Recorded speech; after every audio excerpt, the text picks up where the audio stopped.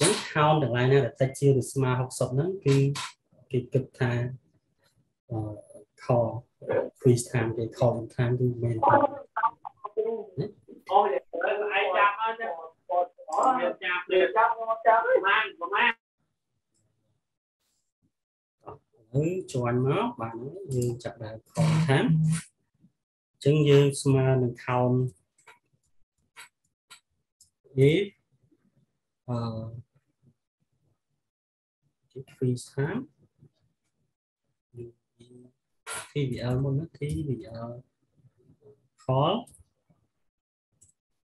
នៃកលំ freeze time បាទនៃកលំ free time ហើយលក្ខខណ្ឌត្រូវតិចជាងស្មើនឹង60 នឹងជា call in time ដែលយើងត្រូវរាប់អញ្ចឹងរាប់តែលេខណាដែលតិចជាងស្មើ60នេះតើមានតម្លៃជាមួយឥឡូវយើងបានចាក់លាននឹងរួចរាល់ហើយយើងអាចសង់ឆាតបានជា basic បានហើយនេះ strong ឈ្មោះ agent ហ្នឹងក៏មិនទាន់ដែរ erect satisfaction របស់ agent អាហ្នឹងគឺជាគ្រាន់តែ erect ស្មើតោះមកយើងគូស dashboard អញ្ចឹងទាំងអស់គ្នាមុនពេលដែលយើងចាប់ដើមគូសយើងមើលកន្លែងនេះនេះ satisfaction យើងអាចប្រើអីគេ look up look up value បានមែនទេក្នុង agent យើងមានប្រមាណអ្នកដែលយើងគិតថាត្រូវស្រង់ចេញមក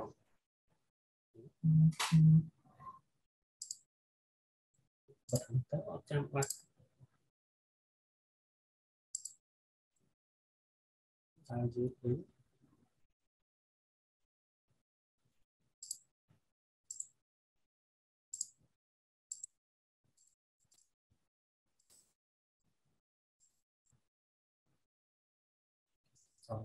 ទៅយើងស្រួលមក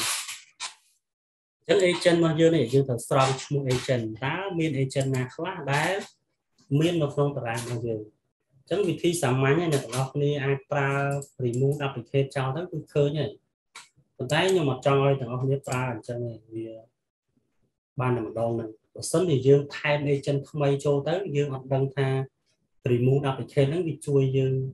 ថែម agent ឬក៏អត់ទេ ហាស់មកហើយ remove duplicate ចោលមែនទេតា remove duplicate ទៅគឺយើងអាចបាន agent មកទាំងអស់តើ agent ទាំងអស់មានប្រមាណអ្នកអញ្ចឹងខ្ញុំអត់ចង់ឲ្យទាំងអស់គ្នាប្រើហ្នឹងទេយើងបានរៀនរូបមន្តស្រង់យក unique value រួចហើយបើសិនជានៅក្នុង function Microsoft Office 365វិញអ្នកនរគ្នាគ្រាន់តែប្រើ function unique ណា unique បាទ ប្រើតែ function unique ហ្នឹងមកអាហ្នឹងគឺចេញមកទាំងអស់ហើយហ្នឹង365ស្រួលមែនតើតែដល់យើងអត់មានអាហ្នឹងគឺយើងត្រូវប្រើ function embed របស់យើងឬក៏ look up ណាចឹង function ដែលខ្ញុំចូលចិត្តប្រើជាមួយនឹង remove duplicate ហ្នឹងគឺខ្ញុំប្រើតែ look up ទេពីងាយស្រួលចឹងយើងអាចស្មើនឹង look up មក look up ខ្ញុំប្រើ array លេខ2 look up លេខ2ក្នុង array លេខ1ហើយចែកជាមួយនឹង count count if ណា look up value ខ្ញុំដើម្បីឲ្យវាទៅជា array លេខ1គឺយើងត្រូវបំលែងវាចឹង count if យកពីខាងលើនេះមកនេះពីខាងលើហ្នឹង range វាចុច2ហើយយើង fix អា column នេះ fix អាទី1នេះឲ្យជាប់ពីទី1ហ្នឹងទៅពេលយើងអូសទៅវា count បន្តបន្តគ្នាមក ហើយត្រូវការដាក់លក្ខខណ្ឌក្រៃតរារបស់យើងគឺយកចេញពី TVL ណាមួយដែលយើងចង់បានអញ្ចឹង TVL ដែលយើងចង់បានគឺ TVL call ហើយ column agent ណា column agent អញ្ចឹងយើងប្រើ TVL call យកចេញពី column agent agent name ណា agent name ណា ណា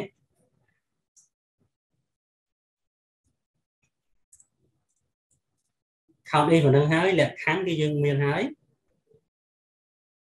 and then look up Twitter បិទអានឹងមួយសិនណាហើយបន្តមកឲ្យតម្លៃវាស្មើនឹង0ទៅដើម្បីបំលែង array អូខេចុងក្រោយគឺយើងប្រើ result vector យើងគឺជា column ដែលយើងត្រូវការឲ្យវា return នៃ function lookup return តម្លៃឲ្យយើងវិញគឺយើងចង់បានឈ្មោះគឺយើងយកចេញពីសុបសិនណានេះបាត់ lookup vector មួយ criteria ចប់អឺចប់ស្មើនឹង0បាត់ពូច្រកមួយទៅនឹង count if all agent នេះបាត់សញ្ញានេះមួយអូខេត្រូវណាបន្តមក result vector គឺយើងយកពី tbl call ហើយ agent name នឹងតែម្ដង agent name ប្រកាស agent name ចេញមកបានយើងអាចបាន unique value អញ្ចឹងអ្វីដែលខ្ញុំដាក់លេខ0ហ្នឹងគឺខ្ញុំអត់ឲ្យវាចេញប្រឡែងមកទេដូចអ្នកអរឃើញមិនអញ្ចឹងណានេះ ពេលដែលយើង remove duplicate ទៅអាប្រឡែងហ្នឹងគឺជាលេខ0ដែលខ្ញុំដាក់ហ្នឹងឯងអញ្ចឹងកុំឲ្យវាចេញនៅពាក្យរាទីគឺឲ្យវាចេញនៅខាងលើគេឲ្យវាចេញនៅពីលើគេទៅអញ្ចឹងពេលដែលមានលេខ0វារកអាប់ប្រឡែងទៅក្រោយគឺវាអត់បង្ហាញលេខ0នៅពាក្យរាទីនោះទេអូខេអញ្ចឹងយើងអូសចុះក្រោមមករហូតដល់ NA ដល់ពេលដែលវាចេញ NA គឺអស់តម្លៃ unique ហើយអស់តម្លៃ applicate ដែរបានតែ unique value មកទេ ឃើញទេអូដល់ឈ្មោះខ្ញុំមកដែរណានេះគឺ NA ហ្នឹងទុកវាចោលហ្នឹងគឺអស់តម្លៃហើយ unique នេះគឺឧទាហរណ៍មួយទៀតទេដែលយើងអាចប្រើបានអាចបង្អាប់ក៏បាន index ក៏បានដែរតែឥឡូវយើងបាន agent name មកហើយអញ្ចឹងយើងប្រើ certification នេះបានទៅតាមឈ្មោះម្នាក់ម្នាក់តើតើ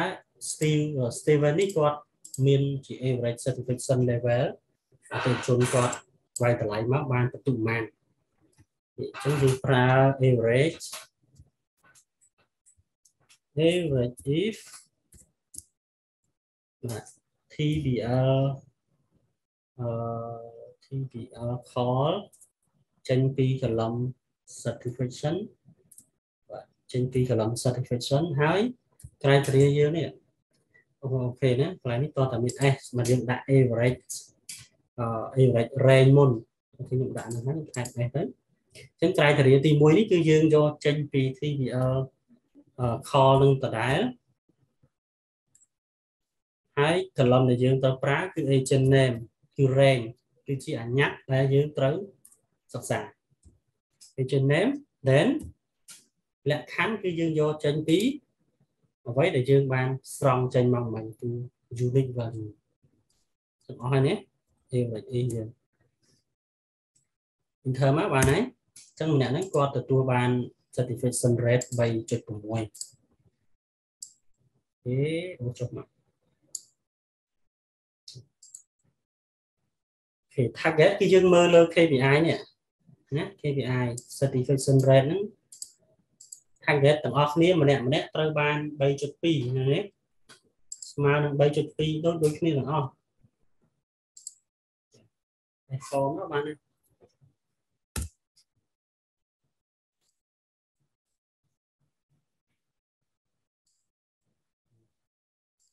ហើយម៉ាន់នេះគឺយើងខែ7ខែ8ខែ9គឺយើងគិតថាម្នាក់ហ្នឹងគាត់នៅខែ7គាត់បាន certification rate ប្រហែលចុច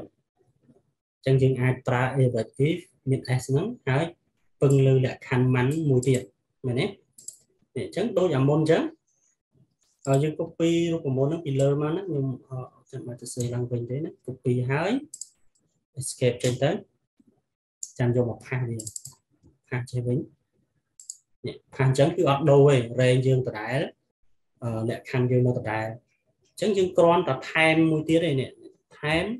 criteria range 2យើងគិតទៅលើខែម្ដងគិតទៅលើខែ TBL call យកចេញពី column man ឃើញទេហើយ man ដែលយើងប្រើគឺខាងលើនេះហើយភ្លេចសញ្ញាខំណាណាខាងលើនេះអញ្ចឹងខាងលើនេះយើងត្រូវ fix row ឲ្យជាប់ហើយយើងអូសចុះក្រោមទៀតហ៎យើង fix row មកហើយយើងអូសទៅស្ដាំចឹងពេលអូតូស្ដាំអានេះគឺកន្លំនេះត្រូវ fix កន្លំ A អញ្ចឹងយើងចុច F4 3ដងមក1 2 3ឃើញទេ3ដងដល់ពេលកន្លែងខាងលើនេះយើង fix row អញ្ចឹងយើងចុច F4 2ដងមក1 2ឃើញទេ fix row ទី21ហ្នឹង row ជាប់ ទឹកអូទៅស្ដាំទៅ S G H I H J K អត់ត្រឹមត្រឹមត្រឹម J ណាបានហើយណាខែ7ឈ្មោះ Steel អញ្ចឹងគាត់បាន3.4ក្នុងខែហ្នឹងអានេះគឺ overall រួមនេះគឺក្នុងមួយខែមួយខែអញ្ចឹងអូនចុះមកបានដាក់បើ click មើលប្រែប្រួលទេអត់មានទេមែនទេមានទេ តែប្រយ័ត្នពេលអូតូស្កាំដោយសារវាជា table ដូចខ្ញុំបានជម្រាបពីកាងដើមមេរៀនមុនមុនអញ្ចឹងពេលអូតូស្ដាំទៅអានេះ certification វាលែងទៅជា column certification ហើយវាទៅជា column resource អញ្ចឹង average នៃ resource នោះអត់បានទេត្រូវហើយអញ្ចឹងយើងត្រូវ fix អានេះទៀត fix column certification ហ្នឹងឲ្យជាប់យើងថែមសញ្ញាតកៀបមួយទៀត ហើយចុច2 certification បិទមកបិទវាជាប់ agent name ក៏ចឹងដែរ fix agent name ក៏ជាប់ដែរ agent name មកដល់ agent name fix ហើយម៉ាន់ដូចគ្នា fix column ម៉ាន់ឲ្យជាប់ដែរ ចិត្តពីមកមកដល់ column ម៉ាន់បិទមួយទៀតអញ្ចឹងយើងអាចអូសទៅស្ដាំបានដោយអត់បារម្ភថាវា error តម្លៃរបស់យើងទៀតទេនេះនេះឈ្មោះនេះប្រហែលជាអត់មាន certification ទេអញ្ចឹងបើយើងអាចប្រើ function មួយទៀតទៅ if error ពីក្រៅណាដល់សារវា error ទៅឲ្យវាចេញ0ទៅ គឺมันមានពេលដែលយើងយកទៅធ្វើឆាតយើងយកទៅសងឆាតទៅឲ្យវាជៀសផុតពីតម្លៃ0នឹងចេញហើយអឺនេះគឺអត់មានអញ្ចឹងដែរយើងប្រើ if error ទៅបាន if error មកវា return 0ណា if error return 0ហើយអូចុះនេះ នេះអញ្ចឹងឈ្មោះណាដែលគាត់អត់បានធ្វើការក្នុងខែហ្នឹងទេគាត់អត់មាន rate ទេអត់មាន rating ឲ្យយើងទេអញ្ចឹងវាជាព័ត៌មានមួយដែរថាវាមិនមែនជា error sale ជាងទេអូខេអញ្ចឹងឥឡូវនេះយើងបានអឺដល់ត្រឹមចំណុចចនាអស់ហើយហើយក៏ពេលវេលាយើងវាដល់ចប់ដែរបន្ទាប់មក អ្នកទាំងអស់គ្នាអាចសាកល្បងគូសឆាតនេះដោយខ្លួនឯងអាចធ្វើបានទេខលក្នុងមួយខែយើងមានហើយតាខែណាខែ7ខែ8អញ្ចឹងណា ASA យើងមានហើយអ730នេះយើងគ្រាន់តែយើងគ្រាន់តែ count វាចេញមកនឹងយើងមានអស់ហើយឃើញទេព្រោះតំណែងខ្ញុំលុបវាចោលខ្លះអញ្ចឹងបានវាចេញចម្លើយខុសគ្នា dashboard ពណ៌ខ្មៅមិញណាតែយើងយកពីនេះមកមកបានទេត្រូវយើងបោនវាចេញ យើងគ្រាន់តែគូសវាមួយ design វារៀងវារៀងខ្មៅខ្មៅអញ្ចឹងក៏បានខ្សែខាងលើហើយខាងក្រោមតំបន់ទី2និងតំបន់ទី3និងទី4បែងចែកតំបន់វាហើយទៅនេះយើងយកមួយមកបានហើយអូខេតំបន់ពណ៌ហ្នឹងថ្ងៃនេះខ្ញុំប្រើពណ៌ខេះទៅ ដើម្បីខណ្ឌអានេះគឺផ្ទៃវានេះ camera កន្លែងនេះគឺខ្ញុំប្រើពណ៌ប្រផេះដែរទូមកអញ្ចឹងតំបន់នេះគឺ dashboard យើងទី3ទៀត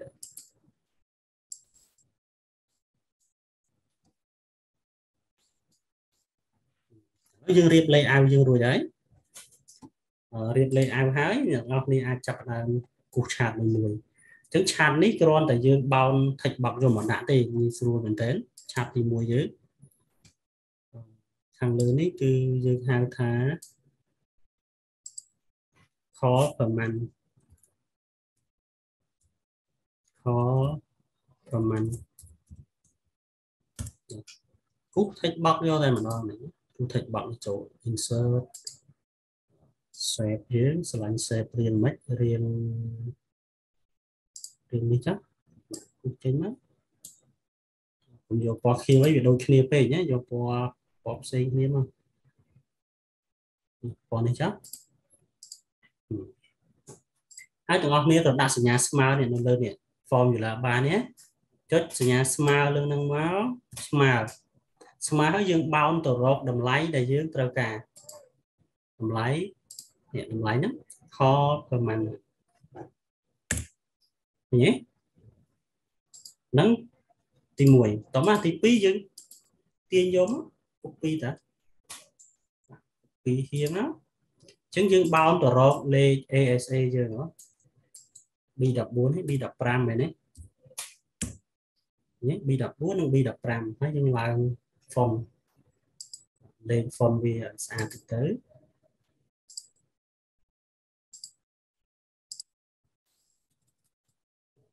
center middle đấy, click pass thế anh ấy cứ call average answer speed average ASA average answer speed ASA manage ASA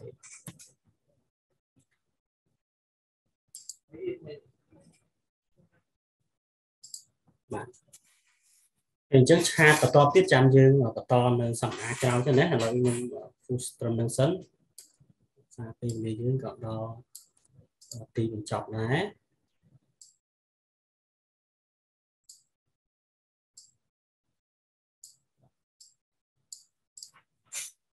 ហើយជួបគ្នានៅសប្តាហ៍ក្រោយខ្ញុំនឹងគូសឆាតបង្ហាញដល់គ្នាពី